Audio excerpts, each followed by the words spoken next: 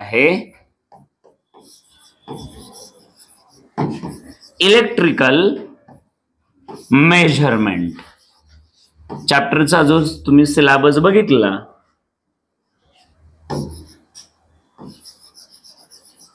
तर तो सिलेबस आहे. कशाशी रिलेटेड आहे? मेजरमेंट रिलेटेड आहे. कसं आहे ते तुम्हाला सांगतो. मग याच्यामध्ये बाळांनो ऍक्च्युअलमध्ये आहे काय? तर याच्यामध्ये तुमच्या लक्षात आलं असेल पहिली गोष्ट आहे तुम्हाला किरचॉप्स लॉज आहेत. एक सायंटिस्ट आहे गुस्सव गुस्सव किरचॉप म्हणून. त्याचे लॉज आहेत. ऑब्विसली हा जो सायंटिस्ट आहे हा आपल्याला मेजरमेंट करायला शिकवतो. कशाची? तर ऑब्विसली एकतर करंट असतं एकतर व्होल्टेज असू शकतं किंवा एकतर रेजिस्टन्स असू शकतं. त्याच्यानंतर याच्यामध्ये तुम्हाला माहीत आहे मी परवाच म्हटलं होतं आपण पुढे गेल्यानंतर शिकणार आहोत मीटर ब्रिज शिकणार आहोत. काय शिकणार आहोत? त्याच्यानंतर एक स्ट्रॉंग कॉन्सेप्ट आहे पोटेन्शिओ मीटर नावाची कॉन्सेप्ट आहे.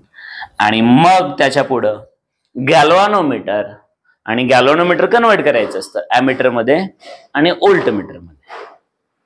पण पण आपण या पर्टिक्युलर टॉपिकमध्ये एवढं चॅप्टरमध्ये एवढं घेणार आहोत. गॅलोनोमीटर म्हणजेच ॲमीटर पुढे आणि ओल्टमीटर हे नंतर घेणार आहोत. तर तुम्ही म्हणाल तसं का? कारण बाळांनो गॅलोनोमीटर समजून घेण्यासाठी तुम्हाला मॅग्नेटिक इफेक्ट समजून घ्यावा लागत असतो. कारण गॅलोनोमीटर कोणावरती काम करत असतं? मॅग्नेटिक इफेक्ट वरती. तुम्हाला आतापर्यंत मॅग्नेटिझम माहीत आहे का काही? काहीच माहीत नाही. आणि तरी तुम्ही काय स्टडी करणार आहात? गॅलॉनोमीटर एवढे हुशार तुम्ही आहात मी मात्र नाही. त्याच्यामुळे जे तुम्हाला झालंय त्याच्या मदतीने हे एवढं होणार आहे. हा छोटासा चॅप्टर असेल. आणि त्याच्यातलं जे एक मीटर आहे गॅलॉनोमीटर त्याच्यातच कन्व्हर्जन केलं. त्यालाच त्यालाच थोडस त्याच्यामध्ये थोडंसं मॉडिफिकेशन केलं की मीटर बनतं. त्याच्यात थोडंसं मॉडिफिकेशन केलं की उल्ट मीटर बनतं. मग हा जो सेक्शन आहे हा पुढे असेल आपल्याला. लक्षात आलं का? मी काय बोललो कळालं का? मग याचा अर्थ आमचा जो चॅप्टर आहे तो आहे इलेक्ट्रिकल मेजरमेंट एकदम छोटासा सोपा चॅप्टर आहे. याच्यासाठी मला असं वाटतं चालू आठवडा भरपूर मोठा झाला. लक्षात आलं का? तर हा तुमचा स्टेट बोर्डाचा चॅप्टर आहे.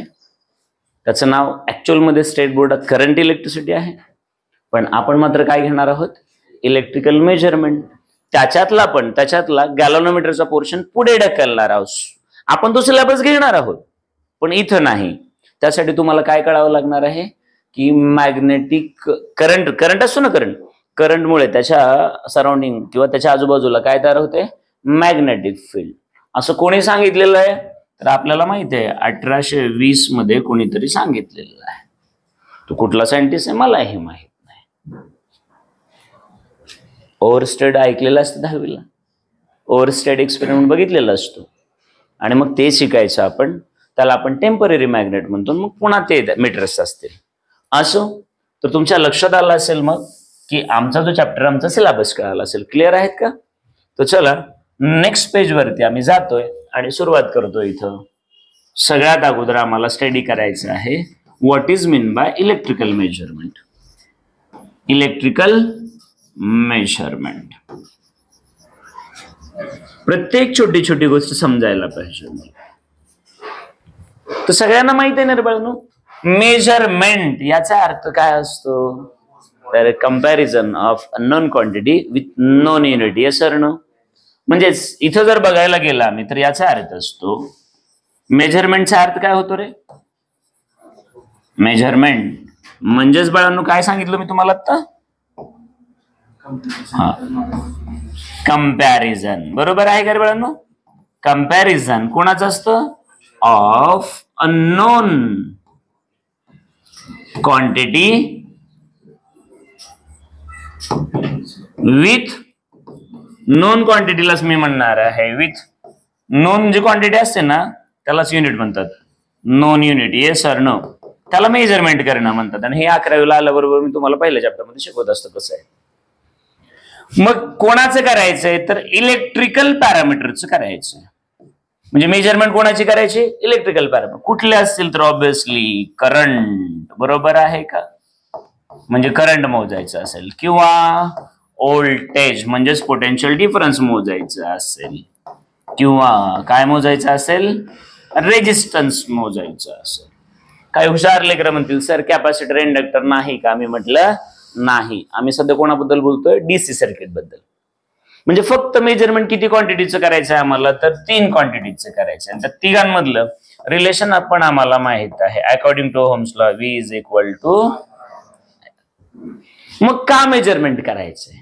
सगळ्या गावाला माहीत आहे. Physics is a quantitative subject yes sir न संख्यात्मक आहे. आणि जर तो आम्हाला चांगल्या पद्धतीनं समजून घ्यायचा असेल कुठलंही इलेक्ट्रिक सर्किट कुठलंही इलेक्ट्रॉनिक सर्किट जर आम्हाला समजून घ्यायचं असेल तर आम्हाला त्या सर्किटमध्ये असणारे पॅरामीटर म्हणजेच व्होल्टेज करंट रेजिस्टन्स चांगले कळायला पाहिजेत. तरच आम्हाला ते सर्किट कळेल. यस सर न अगर कोई भी सर्किट हमें समझना है वो भी अच्छे तरीके से तो हमें क्या पता होना चाहिए कि उसमें कितना करंट फ्लो हो रहा है उसके अक्रॉस कितना पोटेंशियल डिफरेंस अप्लाई किया है उसका रेजिस्टन्स कितना है। मग हे सगळं कळालं आम्हाला. तरच आम्हाला ते सर्किट चांगलं कळेल ना? नाहीतर सर्किट कळणार नाही. म्हणून आम्हाला त्याची काय करावे लागणार? मेजरमेंट मग मुद्दा हा आहे की फिजिक्समध्ये मेजरमेंटच का केली जाते? कारण फिजिकल क्वांटिटी समजून घेण्यासाठी ती मोजल्याशिवाय त्याचं आकलन होत नसतं. अनालिसिस करताच आणि मग जर मोजायचं असेल तर आम्ही काय मोजणार आहोत? तर हे तीन पॅरामीटर मोजणार आहोत. येस सर नो मग आता मजा अशी आहे की हे चालू करायच्या अगोदरच तुम्ही म्हणायला पाहिजे. मग याच्यात काय? आम्हाला already according to होम्सला V is equal to I R येतं ना मोजता. तुम्ही नवीन काय करायला लागलात? तर याच्यासाठी आपण आता पुढे जाणार आहोत. की मोजमाप करायला हे कमी पडतं. मग आता त्याच्यासाठी कंपॅरिझन करायच्या अगोदर तुम्हाला बेसिकली दोन गोष्टी कळायला पाहिजे. एक गोष्ट कळायली पाहिजे सिंपल सर्किट कसलं सर्किट सिंपल सर्किट तर नक्कीच दुसरं असतं कॉम्प्लेक्स सर्किट. कसलं असतं? Complex circuit. ओके एक आहे सिंपल तर दुसरं आहे कॉम्प्लेक्स. आणि दुर्दैव असं की तुम्हाला नोट्स साडेआठ पर्यंत साडेआठला दिलेल्या आहेत त्यांना. दहा वाजेपर्यंत द्या म्हटलं होतं. पण आत्ता आत्ता अकरा वाजता ते म्हणतात हा घरातून निघतोयस म्हणतोय. म्हणलं त्यांच्यावर चिडचिड करत बसण्यापेक्षा आपणच बारा वाजेपर्यंत अकरा वाजेपर्यंत सॉरी साडे अकरापर्यंत वाट बघूया. आलं तर ठीक आहे ना तर उद्या तर शंभर टक्के भेटतीलच. आणि त्यासाठी सॉफ्ट कॉपी मी फर्स्ट टाइम तुम्हाला सगळ्यांना टाकली ग्रुपवरती बघितली असेल ना? आता मी इथून पुढे मीच पॅटर्न राबवतोय. की सॉफ्ट कॉपीमध्ये ए टू झेड मटेरियल तुम्हाला देणार. आणि हार्ड कॉपी देत असताना जे जे जे जे शिकवायचं ना ते देणार. म्हणजे तिथं दोन पैसे माझे वाचतील आणि तुम्हाला मटेरियल सगळं पण मिळेल. आणि ते सॉफ्ट कॉपीमध्ये पण मिळेल आणि हार्ड कॉपीमध्ये पण मिळेल. सकाळी बघितलंय का कोणी नोट्स पाठवलेले आहेत? तर मग आता सिंपल सर्किट समजून घ्यायचं. सिंपल सर्किटमध्ये काय असतं? तर बेसिकली सिंपल सर्किट म्हटलं की एक सोर्स असतो. सोर्स म्हणजे एक सेल किंवा बॅटरी किती असते जनरली एकच असते. आणि त्याच्यामध्ये जे काही रेजिस्टर तुम्ही जोडलेत तर ते एक तर तुम्ही सिरीज किंवा पॅरल किंवा दोन्हीचं कॉम्बिनेशन असं बोलू शकता तुम्ही. एक तर सिरीज म्हणू शकता एकतर पॅरल म्हणू शकता किंवा बोथ म्हणू शकता. त्याला सिंपल सर्किट म्हणायचं. फॉर एक्झाम्पल मी जर असं म्हटलं आणि खाली समजा इथं मी हे असं सर्किट जोडलं. आणि याला मी म्हटलं आर वन याला मी म्हटलं आर टू आणि समजा ही एक बॅटरी आहे मी याला म्हटलं e ई वन म्हटलं. चालेल का? तर आता मजा बघा. याच्यामध्ये एकच सोर्स सोर्सचा अर्थ कळतो ना रे? एनर्जी देणारा. आणि हे दोघं खाणारे. कन्झ्युमर्स ना लोड आहेत नाही. आणि त्याच्यात आर वन आणि आर टू सिरीजमध्ये आहेत. म्हणजे इथं या दोघांचा रेजिस्टन्स किंवा करंट किंवा काय जे काय आहे ते वीज इक्वल टू आय आर याने हे शोधता येऊ शकतं का? शंभर टक्के शोधता येतं. म्हणजेच काय? तर सिंपल सर्किटसाठी ओहम्स लॉ आपल्याला काय करता येतो? तर वापरता येतो. ओहम्स लॉ वापरून त्याच्यातला करंट असेल त्याचं पोटेन्शियल डिफरन्स असेल किंवा त्याचा रेजिस्टन्स असेल आम्हाला शोधता येतो. आणि नववी दहावी अकरावी या तिन्ही वर्षामध्ये आम्ही ते केलेलं आहे. मग कॉम्प्लेक्स सर्किट म्हणजे काय असतं? तर साध्या भाषेत सांगेल की ओहम्स लॉ कॉम्प्लेक्स सर्किटमध्ये वापरता येत नाही. म्हणजे पूर्णपणेच येत नाही असं नाही पण तो जर खरंच वापरायचा म्हणलं तर इतके सारे कॉम्प्लिकेशन्स वाढतात. आणि मग कॉम्प्लेक्स सर्किटमध्ये जर ओहम्स लॉ आमची हेल्प करत नसेल तर कॉम्प्लेक्स सर्किट आम्हाला कळायचं कसं? त्यातला करंट किती आहे? त्याचं व्होल्टेज किती आहे? त्याला त्या सर्किटचा रेजिस्टन्स किती आम्हाला कळणारच नाही ना. मग कॉम्प्लेक्स सर्किट मधले पॅरामीटर जे आहेत म्हणजे हे तीन पॅरामीटर कॉम्प्लेक्स सर्किट मधले ते कसे शोधायचे? म्हणजेच थोडक्यात जर सर्किट कॉम्प्लिकेटेड असेल तर त्याचं अनालिसिस आम्ही कसं करायचं? कारण तिथं ओहम्स तर आमच्या मदतीला नाही. हा मोठा प्रॉब्लेम आहे की नाही? मग तुम्ही नववीला सर्किट तेच बघितलं दहावीला तेच बघायचं अकरावीला तेच बारावीला तेच इंजिनिअरिंगला तेच आणि प्रत्येक ठिकाणी ओम्स असलं. चालेल का तसं? नक्कीच नाही ना. मग काय केलं जातं? तर हे समजण्यासाठी अगोदर कॉम्प्लेक्स सर्किट बघूया. एक छोटस एक्झाम्पल आपण घेतलं समजा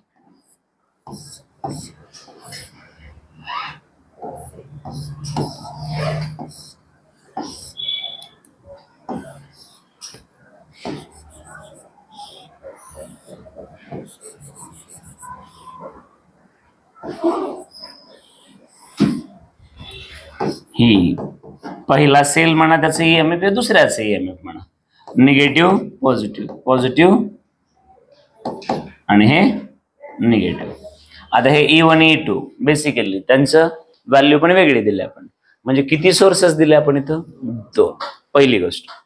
आता मी याला म्हटलं आर वन म्हटलं याला म्हटलं आर टू याला मी म्हटलं आर थ्री आता तुम्ही काय वापरायचं ते वापरा अकॉर्डिंग टू होम्स लॉ तुम्हाला ते सुटतंय का बघा? पहिली गोष्ट मला सांगा आर वन आणि आर टू आर वन आणि आर टू हे सिरीजमध्ये आहेत का? मला सांगा बरं. हा? बघा आता तुम्ही म्हणाल की इथं जो तुम्ही आता खोटा खोटा करंट बोलणार ऑब्विसली मग तुम्ही जर इथं करंट इथं आणला तर यातला काही करंट इकडे जात असेल काही करंट इकडे पण जात असेल ना? म्हणजे करंटला एकच रस्ता आहे का? म्हणजे सिरीजमध्ये आहेत का? नाही. बघा आता. आता आर वन आणि आर टू ला तुम्ही पॅरल म्हणाल का? तर तुम्ही बघा. याच्या अक्रॉस आणि याच्या अक्रॉस सेम पोटेन्शियल नाहीये कारण या दोन पॉईंटच्या मध्ये परत एक सेल जोडलाय. येस सर नो म्हणजे ते सिरीजमध्ये पण नाहीत आणि पॅरलमध्ये पण नाहीत. मी काय बोलायलो समजायला का? फक्त एकच सोर्स आहे का? तर दोन सोर्स आहेत. सिरीजमध्ये पण नाही पॅरलमध्ये पण नाही. मग या केसमध्ये तुम्ही ओहम्स लॉ वापरून हे सोडवू शकता का? तर नक्कीच नाही. बरं मग काही लोक म्हणतील की कॉम्प्लेक्स सर्किट व्हायला एकापेक्षा जास्त सोर्स असायला पाहिजेत का? असं काहीच नाही. एक जरी सोर्स असेल पण रेजिस्टन्स जर खूपच कॉम्प्लिकेटेड मॅटरमध्ये जोडले असतील तरी सुद्धा सर्किट कॉम्प्लेक्स होऊ शकतं. म्हणजे कसं? तर आता इकडे बघा. एक एक एक एक मिनिट. याच्यातलंच एक आणखी एक एक्झाम्पल घेऊया. समजा बाळांनो आपण आता नक्कीच तुम्ही याला बॅटरी म्हणायला हवं ना? अरे ये सर ना मग समजा हा एक पॉईंट घेतला. नीट बघा आता.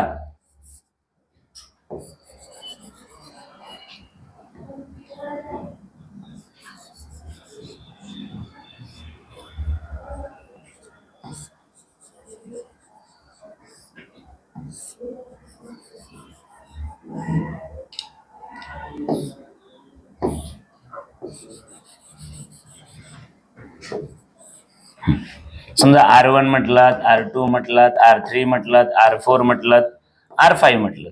आता तुम्हीच मला सांगा हे दोघं हे दोघं. आता सगळ्यांच्या व्हॅल्यूज वेगळ्या आहेत ना?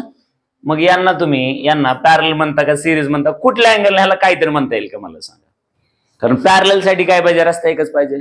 सिरीजसाठी पोटेन्शियल सेम पाहिजे सॉरी पॅरलसाठी पोटेन्शियल सेम पाहिजे आणि सिरीजसाठी रस्ता एकच. तर हे कुठल्याच कॅटेगरीमध्ये बसत नाहीत ना? मग इथं बॅटरी एकच आहे तरी सुद्धा हे सर्किट कसं झालं? कॉम्प्लिकेटेड यस आर नो मग या दोन्ही केसेसमध्ये तुम्हाला ओहम्स लॉ वापरता येत नाही. मग याचा अर्थ हे कॉम्प्लिकेटेड सर्किट मग आता सोडवायचं कसं? हा सगळ्यात मोठा प्रश्न इथे येतो. मग कॉम्प्लिकेटेड सर्किट सोडवण्यासाठी जर आमची ओहोम्सला लॉ हेल्प करत नसेल तर कोणीतरी मदतीला आलं पाहिजे की नाही? आणि मग कॉम्प्लिकेटेड सर्किटचं अनालिसिस करायचं म्हणजेच त्याच्यातला करंट मोजायचा त्याचा रेजिस्टन्स मोजायचा किंवा त्याच्यातलं पोटेन्शियल मोजायचं. आणि याच्यासाठी एक माणूस आपल्या सगळ्यांची हेल्प करणार आहे. आणि त्या माणसाचं नाव आहे गुस्तव. आपल्याकडे उत्सव असतं. आणि पुढे असणार आहे किरचॉप्स. नाव काय त्याचं? किरचॉप. लक्षात आलं का? आणि मग हा जो किरचॉप आहे आपल्याला तो दोन लॉज देणार आहे. किती लॉज देणार आहे? फक्त दोन लॉज असतील. आणि with the help of those two laws आपण त्या दोन लॉजच्या मदतीनं कितीही कॉम्प्लिकेटेड सर्किट असू द्या एकदम आरामात ते सोडवू शकतो. म्हणजेच त्याच्यातलं पोटेन्शियल रेजिस्टन्स करंट आपण आरामात शोधू शकतो. लक्षात आलं का? म्हणजेच बाळांनो मोजू शकतो. बरोबर आहे का? आणि मोजल्यानंतरच आपल्याला त्याचं अनालिसिस होतं. बरोबर आहे की नाही? म्हणून आता सगळ्यात महत्वाची गोष्ट आपल्याला काय स्टडी करावं लागेल या किरचॉपचे लॉज आणि ते किती आहेत? दोन. आणि किरचॉपचे लॉ स्टडी करणं हे तुमच्या बारावीच्या वर्षामध्ये जे काही एकदम एकदम एकदम सोप्या गोष्टी असतात त्याच्यापैकी ही एक आहे. लक्षात आलं का? सगळ्यात सोपं जे आहे त्याच्यापैकी एक आहे. इतकं हे सोपं आहे. फक्त अप्लाय करत असताना तुम्हाला एक्स्ट्रा प्रॅक्टिसची गरज आहे. तिथं मात्र तुम्ही जर एक्झाम्पल कमी सोडवलेले असतील तर मग मात्र शंभर टक्के तुम्हाला प्रॉब्लेम्स होणार आहेत. कारण आम्ही इंजिनिअरिंगला मला असं वाटतं बहुतेक आम्हाला सेकंड इयरला होतं वाटतं. आणि आम्ही खुश होतो एवढं सोपं. पण ऍक्च्युअलमध्ये प्रॉब्लेम सोडवताना आम्ही आम्ही तुम्ही विचार करू शकता. अकरा बारावीला असून तुम्ही एवढा का कमी अभ्यास करताय. आम्ही तर हवेत होतो आम्ही इंजिनिअरिंगला म्हणून. बरोबर आहे की नाही? पण आपण केलेल्या चुका आपल्या लेकरांनी करू नये हाच प्रामाणिकपणा असतो ना. मग तुम्ही बघा हे लॉज इतके सोपे आहेत. पण त्यासाठी ऍप्लिकेशन एक्झाम्पल खूप खूप खूप चांगल्या पद्धतीने करावे लागतील. तेव्हा मग तुम्हाला कुठलंही सर्किट चांगल्या पद्धतीने कळेल. तर मग याच्या पुढचं जे नक्कीच टायटल असेल ते काय असणार आहे रे बाळांनो? हेडिंग काय असेल? आ? किरचॉप्स कुणाचे लॉज असतील? किरचॉप्स लॉज आणि नक्कीच या किरचॉफचे लॉज किती आहेत म्हटलं? दोन आहेत. पहिला जो लॉ आहे तो रिलेटेड आहे करंट कुणाशी रिलेटेड आहे? करंट तर दुसरा कुणाशी असेल? व्होल्टेजची सोपं आहे की नाही? म्हणून पहिल्याला आपण म्हणणार आहोत किरचॉफ्स किरचॉफ्स करंट लॉ. यालाच काही लोक म्हणतात के सी एल. लक्षात आलं का? त्याला बरीच वेगळी पण नावं देऊ शकतो आपण. पण आपण एकच बघ. विनाकारण गोंधळ कशाला? तर नक्कीच बाळांना दुसरं काय असेल रे? किरचॉफ्स. का असेल? ओल्टेज लॉ असेल. आणि नक्कीच हे काय असणार आहे? KV L. तर आता मला सांगा रे बाळांनो करंट म्हणजेच फ्लो ऑफ चार्ज बरोबर आहे की नाही? मग कुठल्याही करंटमध्ये चार्ज फ्लो होतो आणि चार्ज कन्झर्व असतो ना रे बाळांनो? म्हणजेच हा जो लॉ बेस्ड आहे हा डिपेंड आहे कन्झर्वेशन ऑफ चार्ज या जगातल्या फंडामेंटल लॉ वरती हा डिपेंड आहे. तर हा डिपेंड आहे कन्झर्वेशन ऑफ एनर्जी या जगातल्या फंडामेंटल लॉ वरती आहे. लक्षात आलं का? मग दोन्ही केसमध्ये आम्ही तेच जगातले फंडामेंटल लॉ परत परत परत परत परत. आणि मी काल एका एक्स वाय झेड कॉलेजवरती गेस्ट लेक्चरला गेल्यानंतर तिथं केमिस्ट्रीचे सरच पाठीमागे बसले होते. तर योगायोगानं तोच विषय चालू होता. केमिस्ट्री स्टडी करायला एकशे अठरा एलिमेंट त्याच्यातले कमीत कमी तीस एलिमेंट जर तुम्हाला इन्फॉर्मेशन गरजेचं आहे ना पण फिजिक्स त्याच्यापेक्षा खूप सोपं आहे म्हणलं ते म्हणले कसं काय सर म्हणलं फिजिक्समध्ये तेच ते तेच ते repeat repeat repeat repeat repeat असतं. तुम्ही मला कुठला एक रॅन्डम चॅप्टर सांगा म्हणलं. कुठलाही रॅन्डम चॅप्टर सांगा. अकरावी आणि बारावीचा. त्याच्यात काय रिपीट रिपीट आहे आणि ते कुठं आलंय आणि ते किती फंडामेंटल आहे आणि हे तुम्हाला कुठं झालंय मी सांगतो म्हणलं तुम्हाला. कुठलंही सांग आता इथं हे चालू आहे. तुम्ही म्हणाल आमच्यासाठी किरचॉफ्स नावच नवीन आहे. त्याचा करंटला वगैरे. अरे पण तुमच्यासाठी कन्झर्वेशन ऑफ चार्ज नवीन आहे का? कन्झर्वेशन ऑफ एनर्जी नवीन आहे का? तेच आहे फक्त वेगळ्या फॉर्मॅटमध्ये वापरायचं एवढंच ना. मग आता आपल्या स्क्रीनवरती हा लॉ असणार आहे पहिला. कुठला? किर्चॉफ करंट लॉ आणि एवढ्या साध्या सोप्या भाषेमध्ये असणार आहे तो. तर एकदम व्यवस्थितपणे लक्ष द्यायचंय प्रामाणिकपणे बघायचंय. आणि समजला तर ह म्हणा नाही समजला तर जोपर्यंत समजत नाही तुमच्या स्क्रीनवरती चालू असेल. ओके तर सगळ्यात पहिला माझा क्वेश्चन हा आहे. की ओहम्स लॉ असताना किरचॉप कशासाठी? अनिकेत टू व्हीलर असताना फोर व्हीलर कशासाठी? ते लाजते. काय बोलाव? ज्ञानेश्वर? लांबचा प्रवास जास्त माणसं घेऊन जाणं बरोबर आहे ना? मग ओहम्स लॉ असताना किरचॉप कशासाठी? हा Ohm's law is helpful in simple circuit बरोबर आहे ना? तिथं तो कामाला येतो. म्हणजे पण जिथं अवघड कॉम्प्लिकेटेड सर्किट होतात. तिथं कोण मदतीला येणार आहे? किरचॉप येणार आहे. लक्षात आलं का? आणि मला वाईट एका गोष्टीचं वाटतं. फिजिक्समध्ये आतापर्यंत पण तुम्हाला थीम लक्षात आली नाही. तुमच्याकडे कुलम्स होता की नाही? तरी तुम्ही गॉस आणला. कुलम होता ना? तरी तुम्ही गॉस आणलेला आहे. आता जेव्हा मॅग्नेटिक फील्ड चालू होईल ना तेव्हा सेम तुमच्याकडे बायोसॅवेट असणार आहे. काय असणार आहे तुमच्याकडे? बायोसॅवेट असणार आहे. पण तो पण कॉम्प्लिकेटेड होतो. म्हणून पुन्हा तुम्ही अँपियर आणता. तिकडे अँपियर अँपियर सर्क्युटल लॉ म्हणून आहे. मग इकडे बघा आता. इकडे. अगोदर कुलंब आहे तरी तुम्ही कोण आणता? गॉस आणता. तिकडे बायोसॅवेट आहे तरी तुम्ही कोण आणता? अँपियर आणता. इकडे ओहम आहे तरी तुम्ही कोण आणता? किरछाव आणता. म्हणजे एकाच कॉन्सेप्टसाठी दोन दोन तीन तीन चार चार सायंटिस्ट लोकांनी काम केलंय की नाही? मग काही ठिकाणी बेसिक बेसिक अंडरस्टँडिंगला ओहम ओके आहे तो खूप चांगला आहे. पण जेव्हा सर्किट कॉम्प्लिकेटेड होतं तेव्हा ओम ओहम जो आहे त्याला म्हणतो ओम दादा सर्व बाजूला आता कोणाला बोला बेसिक अनालिसिस करायचं इलेक्ट्रोस्टॅटिक्सला कुलोम ओके आहे पण ज्यावेळेस सर्किट सॉरी चार्जेस कॉम्प्लिकेटेड वेने पसरलेले असतात ना मग लिनियर असो सरफेस असो व्हॉल्युम असो त्यावेळेस कोण येणार आहे? गॉस येणार आहे. लक्षात येतं का? म्हणजे सेमच काम आहे. पण ज्या त्या ठिकाणी जर आम्ही गॉ हे कुलम वापरायचं म्हणलं तर अवघड होऊन बसतो पण आम्ही गॉसला वापरतो. सेम. थीम एकदा कळाली ना बाबा ह्याने पण तेच काम केलं मग हा कशासाठी आला?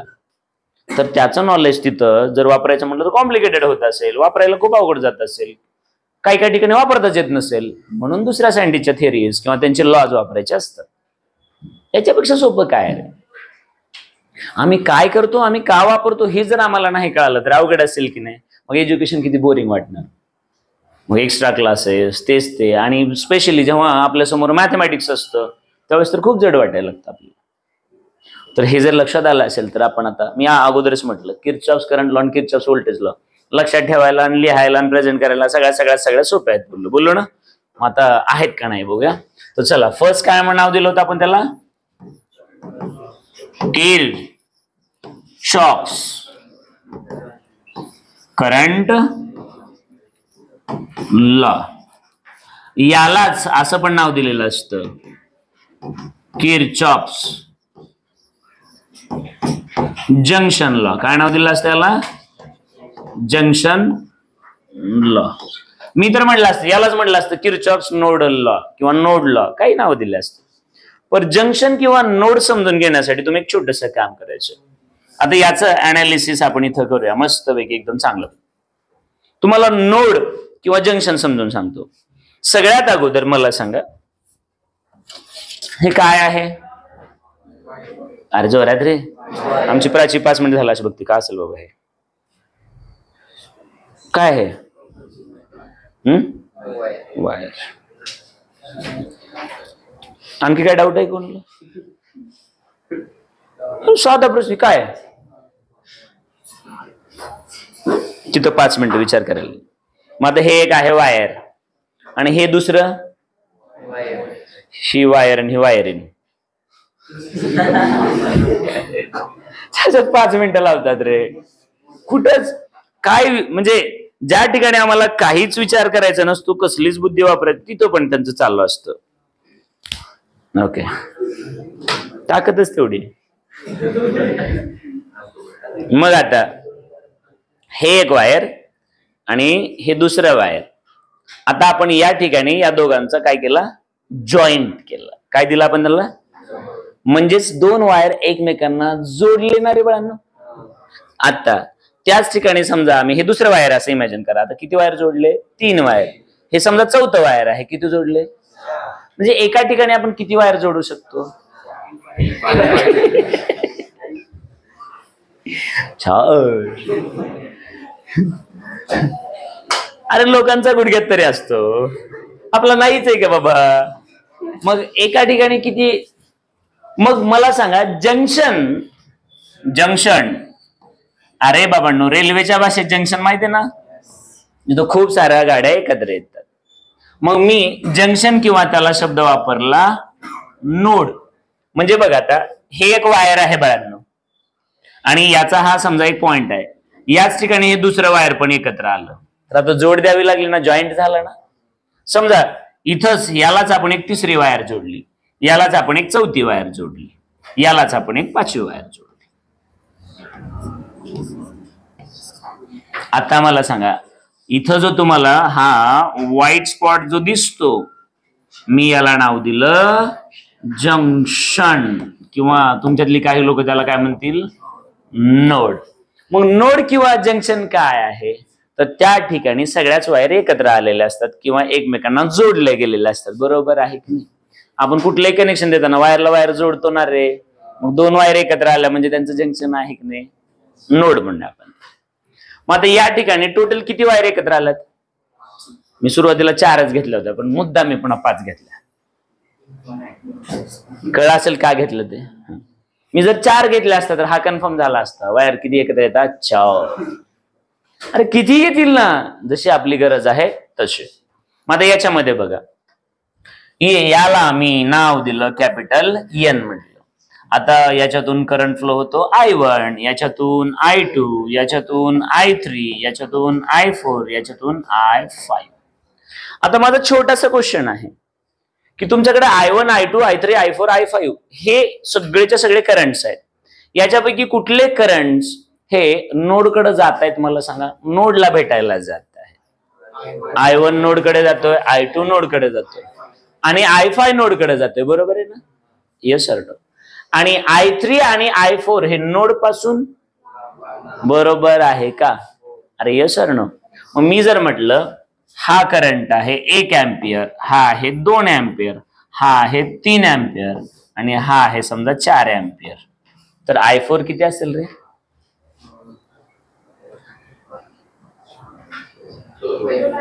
हा? दोन का?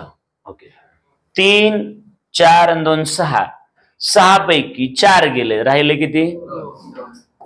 मला मी काही शिकवलेलं नाही आणखी. तुम्ही मला सांगितलं दोन अँपियर आहे म्हणून. बरोबर आहे का? कसं काय तुम्ही सांगितलं? कसं काय सांगितलं तुम्ही? कारण या पॉइंटला करंट किती येतो? दोन तीन आणि तीन सहा. म्हणजे त्या नोडला येणारा करंट किती आहे? सहा. मग करंट येतो म्हणजे चार्ज असतो ना? मग आम्ही स्टडी केलं. चार्ज कुठं अकमलेट होऊन बसणार का? कारण तिथं फ्लो ऑफ चार्ज आहे म्हणजे करंट थांबणार का निघून जाणार? पळणार कंटिन्यू लाईक रिव्हर बरोबर आहे ना? नदीच्या पाण्यासारखं. मग मी म्हटलं असतं ही एक जागा आहे ही एक नदी आहे ही एक नदी आहे. आय वन पहिल्या नदीचं पाणी आय टू दुसऱ्या नदीचं पाणी आहे. तर आय थ्री त्या दोघांची बेरीज असेल ना? यस अर्ण कारण पाणी तिथं थांबणार नाही अशी कॉन्सेप्ट आम्ही घेतली. मग या केसमध्ये मला सांगा या ठिकाणी या नोडला येणारा करंट आणि नोडपासून जाणारा करंट ऑलवेज इक्वल असतील का नाही? येस नो कारण चार्ज अक्युमुलेट होत नाही. चार्ज त्या ठिकाणी थांबणार. मी काय बोललो कळलं का तो ओम दादा? शाहकारे हं? लक्षात आलंय का नाही? नक्की. मग नोडला येणारा करंट आणि नोडपासून जाणारा करंट ऑलवेज कशा असतात? सेफ मग हेच परवा आपण एक एक्झाम्पल घेतलं होतं. मी तुम्हाला ते म्हटलं होतं सांगलीच्या पलीकडच्या बाजूला नरसिंहवाडी आहे. आणि तिथं इकडून समजा कृष्णा आली आणि इकडून पंचगंगा एकत्र आली. आणि या दोघांपासून समजा एक तिसरीच नदी तयार झाली. पुढे कृष्णाच नाव दिलं तो भाग वेगळा. मग मी याला ए रिव्हर म्हटलं याला बी रिव्हर म्हटलं आणि याला सी म्हटलं. तर सी मध्ये जे पाणी आहे ते ए प्लस बीचं पाणी आहे ना रे? कारण या ठिकाणी पाणी थांबणार नाही. कारण ते कंटिन्युअसली कसं आहे? फ्लो मध्ये आहे. याच्यापेक्षा सोपं काय असतं? म्हणून किरचॉप्सला जर मला कोणी विचारलं की काय असतं बरं किरचॉप्स करंटला? तर मी म्हणेल कुठल्याही एका पॉइंटला त्याला मी नोड जंक्शन शब्द वापरलाय कारण आणखी नाही. कुठल्याही एका पॉइंटला येणारा करंट आणि तिथून जाणारा करंट ऑलवेज कशा असतात? सेम असतात. येस ऑर नो आता तुम्ही मला सांगा कुठल्याही एका ठिकाणी येणारा करंट आणि जाणारा करंट इक्वल असतात. हा लॉ आहे. किती अवघड आहे बघा बरं. मग आता मुद्दा येतो की सर तुम्ही तर असं सांगितलंय पण आम्हाला काही तिथं असं लिहायचं असतं का? येणारा आणि जाणारा बरोबर. आम्हाला तर तिथं टेक्निकल लिहायचं असतं. मग आम्ही आहोत ना पुढे टेक्निकली एक्सप्लेन करायला. मग मला सांगा येणारा करंट या ठिकाणी ऍड होत असेल ना रे?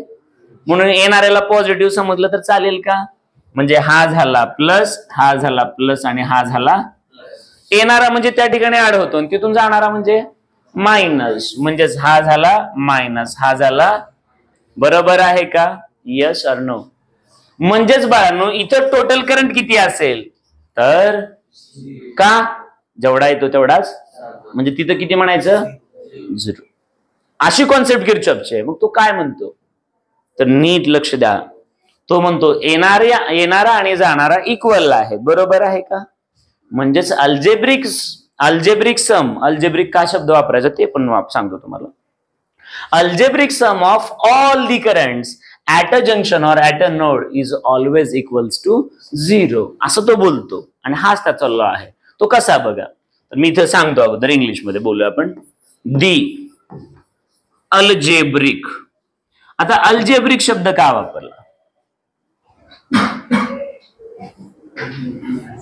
हा स्पेलिंग चुकला असेल. दी अल्जेब्रिक सम ऑफ आता मुद्दा हा आहे की अल्जेब्रिक का? तर येणाऱ्याला आम्ही कसं कन्सिडर केलेलं आहे? पॉझिटिव्ह आणि जाणाऱ्याला? नाहीतर इथं सम म्हणल्यानंतर तुम्ही सगळ्यांचीच बेरीज कराल ना? पण बाळानो बेरी ऍड सम घेत असताना येणारा पॉझिटिव्ह घ्यायचा आणि जाणारा म्हणून अल्जेब्रिक वर्ड युज केला लक्षात आलं का? The algebraic sum of all the currents ना रे बाळांनो? ऑल दी करंट्स कुठं? तर म्हणावं लागेल ऍट अ जंक्शन किंवा त्यालाच तुम्ही शब्द वापरणार नोड. बरोबर आहे का? Is always equal to zero हा कोण आहे? तर हा आहे किरचॉप्स करंट ल मग हाच हाच आपल्याला मॅथमॅटिकली कसा सांगता येईल? तर sum of all the current is equal to zero हेच इथं कसं एक्सप्लेन करता येईल? तर म्हणावं लागेल I one plus I two plus I three plus I four plus I five is equal to पण कसं? तर तुम्हाला माहीत आहे प्लस आय वन आहे ना रे? मग हे असं होईल ना रे? I one plus I two plus I three पण आय फोर कसा आहे? तर प्लस मायनस आय फोर ना रे? Plus minus I five is equal to बरोबर आहे का? थांबा दोनच मिनिटं थांबा. खूप सोपं आहे याला सोपंच करूया आपण. तर इकडे मला सांगा मग आता हे असंच होईल ना? Therefore I one plus I two plus I three minus uh थांबा काय तर चुकलं. थांबा थांबा थांबा थांबा. आपण ए थांबा थांबा. हे सिक्वेन्समध्ये दिले नव्हते ना? नो प्रॉब्लेम इथंच घेऊया काय काय अडचण नाही. मग मला सांगा therefore I one plus I two plus येणारा प्लस बोलत ना? आणखी कोण आहे? I five minus I three minus I four is equal to therefore I one plus I two plus I five is equal to हे minus वाले इकडे दिले. आय थ्री प्लस म्हणजेच बाळांनो येणारा करंट आणि जाणारा करंट ऑलवेज कसा असतो? सोपा आहे का? कुठल्याही एका नोडला कुठल्या एका जंक्शनला किंवा कुठल्या एका जॉईंटला किंवा कुठल्या एका पॉइंटला जेवढा करंट येतो तेवढाच तिथून जात असतो. सोपा आहे का अवघड आहे बघा? येणारा करंट आणि जाणारा करंट ऑलवेज कसा असेल? सेम असेल. किंवा टोटल करंट झिरो असेल म्हणायचं. बरोबर आहे का?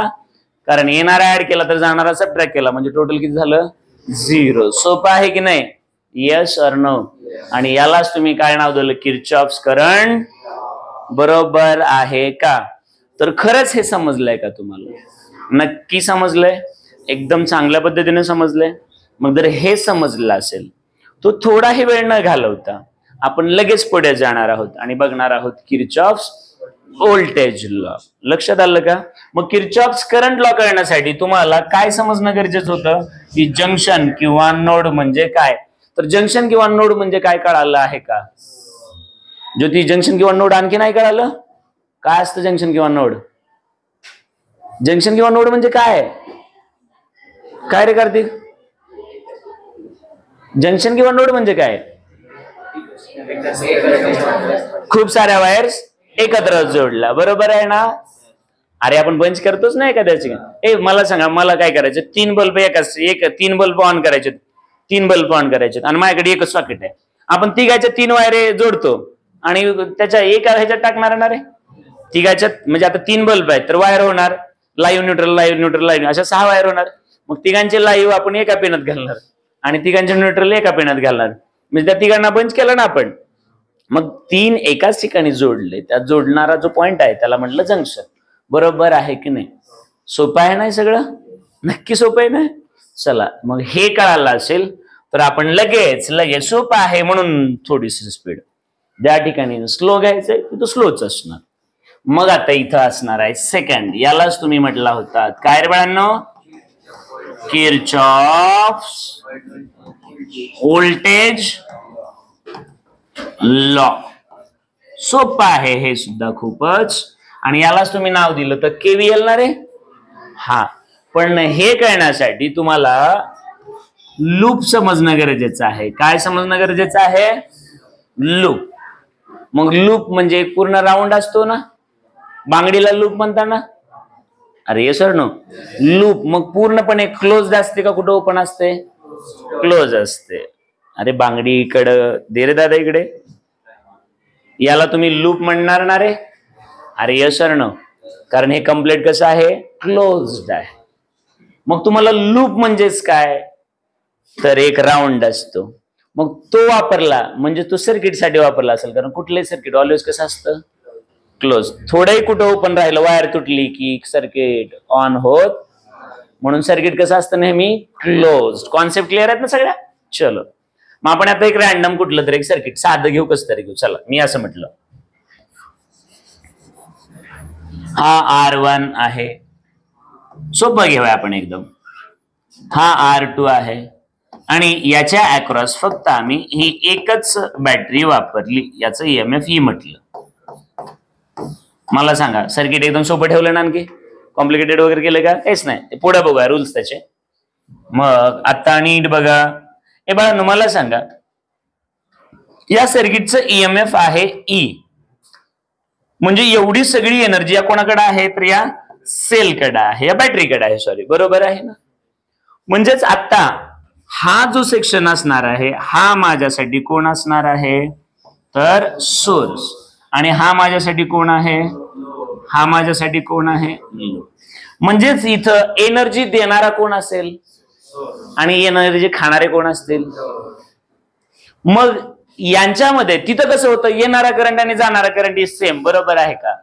इथं असतं दिलेली एनर्जी आणि खाल्लेली एनर्जी कशी असायला पाहिजे? सेम येस ऑर नो कारण एनर्जी चार्ज होता तिथं. येणारा चार्ज आणि जाणारा चार्ज ऑलवेज इक्वल का? चार्ज क्रिएट पण होत नसतो आणि डिस्टर्ब पण होत नसतो. मग इथं काय असेल? की दिलेली एनर्जी आणि त्यांनी कन्झ्युम केलेली एनर्जी कशी असायला पाहिजे? सेम का? एनर्जी डिस्ट्रॉय पण करतात आणि क्रिएट पण होत नाही. सेमच आहे की नाही? मला सांगा. किती फंडामेंटल मॅटर आहे तिथं मग मला सांगा आता. इथं हा देणार आहे तर हे दोघे खाणार. मग हा हे ईएमएफ आहे. मी म्हटलं हा पोटेन्शियल ड्रॉप आहे पहिला रेजिस्टन्सचा आणि इथं आहे पोटेन्शियल ड्रॉप सेकंड रेजिस्टन्सचा चालेल का रे बाळांनो? येस सर नो मग बाळांनो आता त्याच्यात कुठलाही एम आपला पॉझिटिव्ह कुठल्याला निगेटिव्ह ते नंतर बघूया आपण. आता सगळ्यात अगोदर आपण ही लूप कन्सिडर करूया. चालतं का? कशी? आता याच्यात पॉझिटिव्हकडून निगेटिव्हकडे जाताना निगेटिव्हकडून पॉझिटिव्हकडे जाताना हे आपल्याला थोड्या वेळानं साईन कन्व्हेन्शन बघायचे ते नंतर बघूया. इथं फक्त मला सांगा हा देणार आहे हे दोघे खाणार आहे. म्हणून मी म्हटलं बघा इकडे. डी डी एफ जर अनेक असतील तर बोलावं लागेल ना? The EMF and potential drops बघा ईएमएफ म्हणजे सोर्स ना रे बाळांनो? आणि ड्रॉप्स म्हणजे loads the EMF and potential drops in a closed loop थांबा त्याच्या पुढे सम वापरूया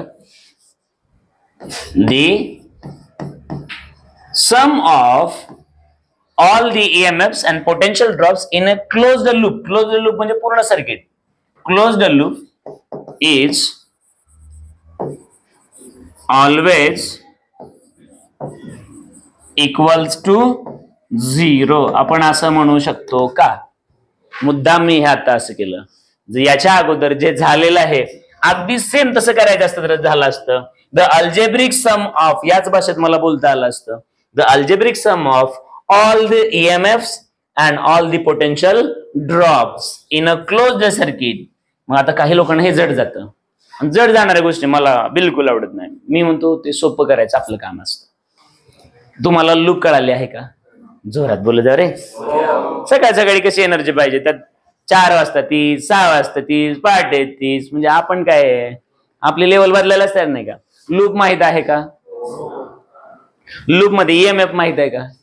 ईएमएफ काय ईएमएफ चं काम आहे की हा एनर्जीचा सोर्स बोलूया थोड्या मग हा एनर्जी देणार आहे तर हे एनर्जी खाणारे आहेत. बरोबर आहे का? म्हणजे हा सोर्स आहे तर हे कोण आहेत? लोड आहेत. म्हणजे हा हा प्रोड्युसर आहे तर हे कन्झ्युमर असतील ना रे? हा. मग मला सांगा मी असं म्हणेल ना रे की कुठलाही एका क्लोज्ड सर्किटमध्ये म्हणजेच लूपमध्ये बरोबर आहे का? जेवढे काही ईएमएफ आहेत आणि जेवढे काही लोड्स आहेत त्यांचं जे काही पोटेन्शियल आहे ते ऑलवेज इक्वल्स टू झिरो असलं पाहिजे. यस ऑर नो म्हणजेच बाळानो दिलेलं आणि खाल्लेलं ऑलवेज कसं पाहिजे? सेम पाहिजे. यस ऑर नो मग हे आता असं बोललो. यालाच मी वेगळ्या भाषेत बोललो असताना रे. दी अल्जेब्रिक सम ऑफ असं बोलाय वाटलं तर ऑर म्हणून याला ऑर इथं लिहूया. काय करावं रे ह्यांना? रेजिस्टन्स रेजिस्टन्स रेजिस्टन्स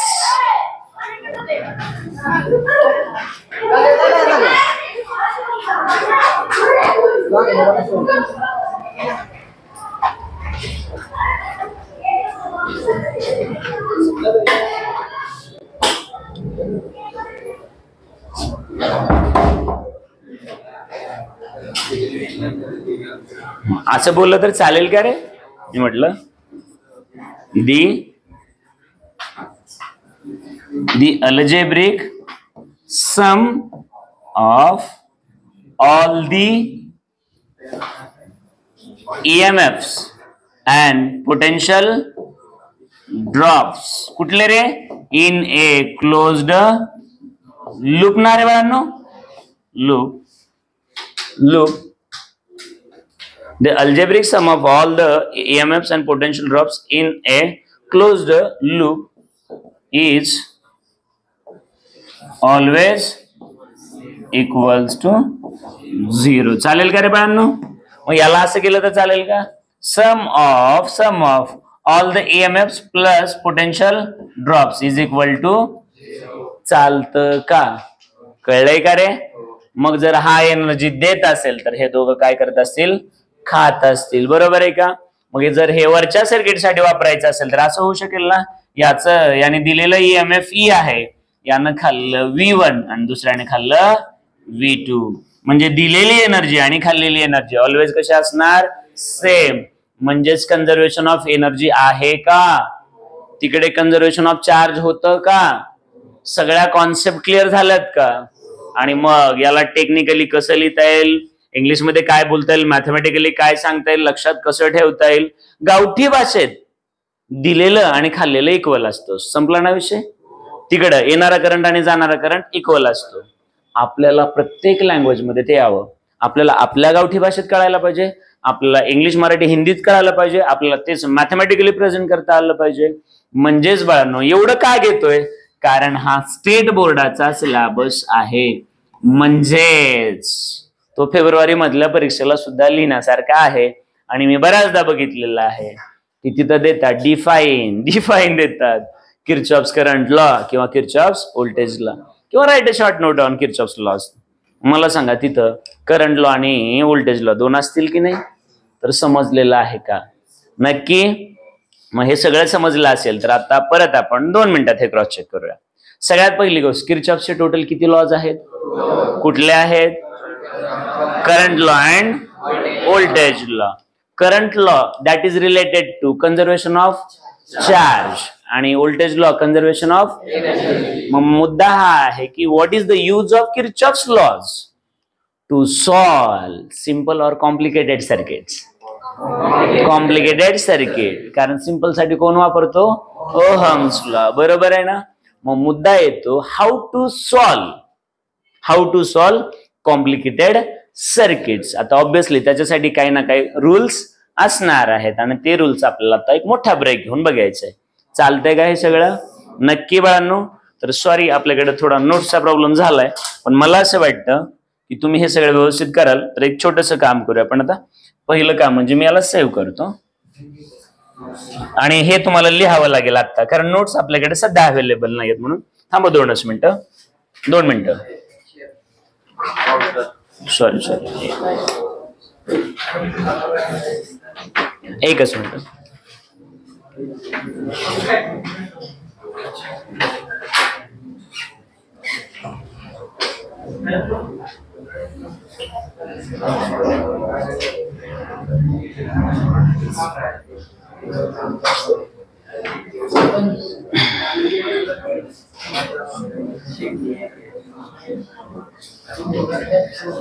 嗯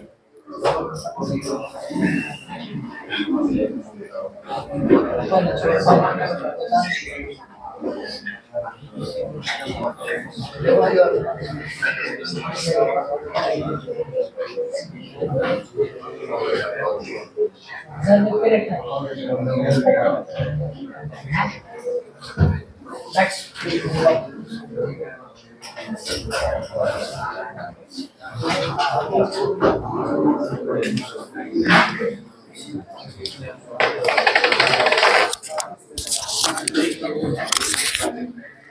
एव्हान आतापर्यंत शिकवलेलं सगळं कळलं